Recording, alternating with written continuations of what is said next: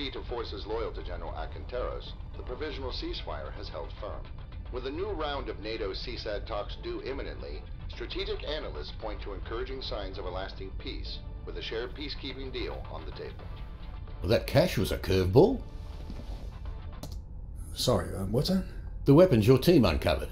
Advanced stuff, military grade. Yeah, unexpected. But we might be able to work it to our advantage. How so? These kind of weapons are not simple to get a hold of. They're valuable.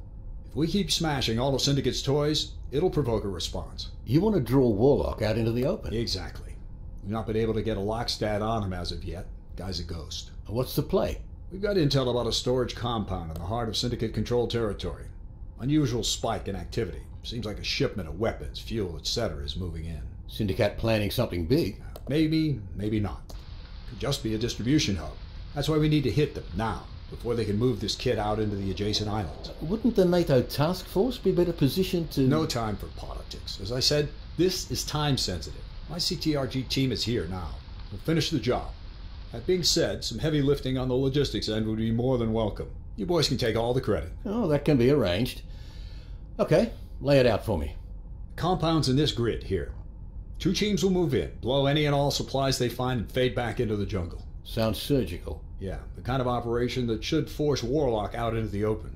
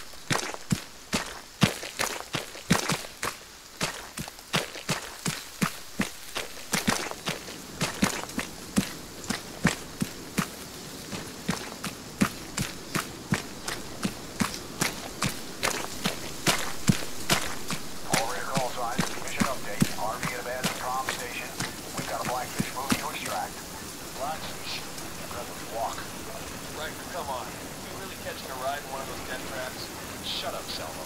Roger your last, Watchtower. Raider 2, we left the Prowler nearby during insertion. Saddle up and move to the LZ. Raider 1, quick time. Transport's leaving in Vigor Shield. Watchtower out.